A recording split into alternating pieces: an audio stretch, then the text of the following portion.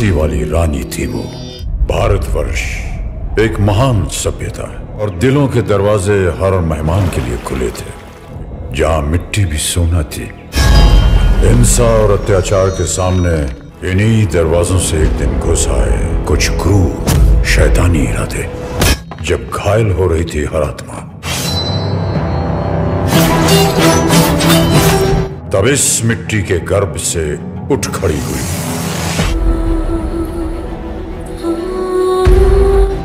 मणि करने का।